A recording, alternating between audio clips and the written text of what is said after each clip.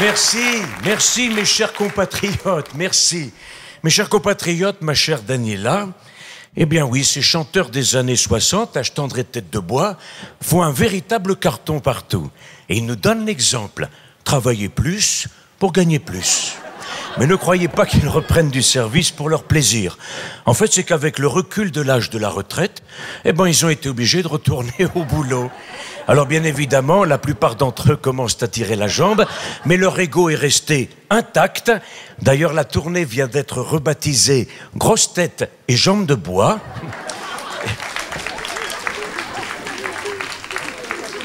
Je suis fier de vous en présenter quelques-uns ce soir, en commençant par l'indestructible Guy Béard. Dans l'odeur de formol, de nécropole, des vieilles momies, moi j'ai repris d'ardard ma vieille guitare et mes vieilles mélodies.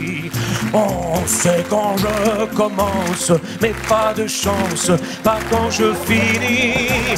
Alors dans la tournée, c'est moi qui fais les anesthésies.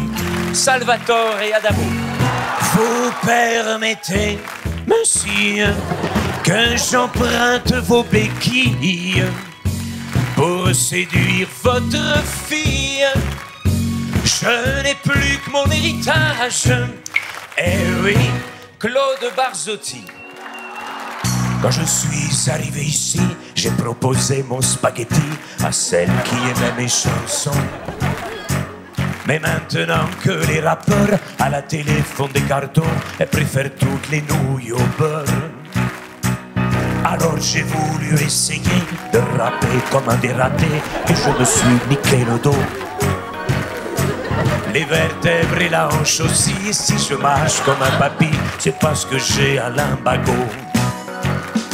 Je suis bancal et ça m'embête, quand je m'en vais, on croit que je reste. Je suis tout raide sauf où il faut, j'ai la dégaine d'un asticot. C'est pas sérieux, mon amour, mon amour, de s'embrasser comme ça à ton âge, voir le loup, c'est pas sérieux. Et d'ailleurs, mon amour, ton dentier dans ma bouche se promène tout à coup. Marcel Amont.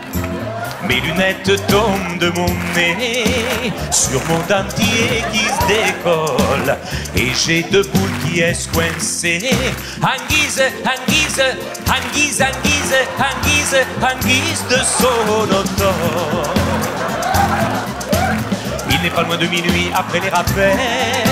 C'est formidable public, mais mon lit m'appelle. J'ai des trucs à avaler à n'en plus finir, des cachets, des gélules, des remèdes avant de dormir. Et ces cons qui applaudissent, ils en veulent une autre, mais au revoir, c'est le rouge, dois enfiler mon suppositoire.